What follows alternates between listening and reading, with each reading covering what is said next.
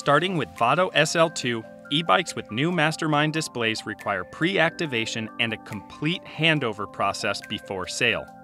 Out of the box, the e-system is in turtle mode. There is no motor support for pedal assist. Update the firmware using Turbo Studio. A new option, Quick Test, appears in Turbo Studio, enabling motor support up to two hours for a post-build test ride.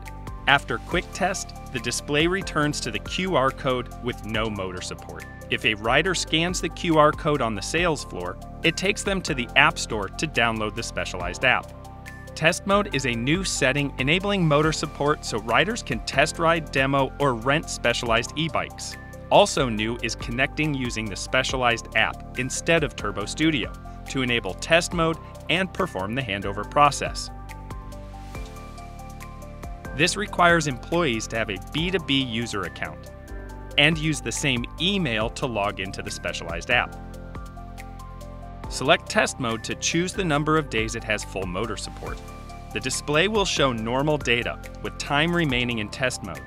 The rider can use their device to connect via the specialized app with limited access to features, no system lock, no registration, no activation. With under two hours remaining, the display flashes a yellow notification every 15 minutes. Once test mode time elapses, full motor support remains until the e-bike is turned off.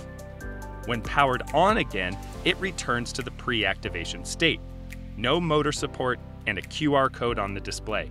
Specialized e-bikes must go through the handover process before rider activation.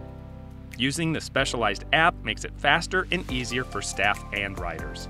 Simply connect to the bike, select handover, and follow the checklist. At the end of the handover, schedule the rider's service reminders. Service intervals populates two reminders, inspection check and annual service. With the handover complete, tell the rider to use their mobile device to activate the e-bike with the specialized app.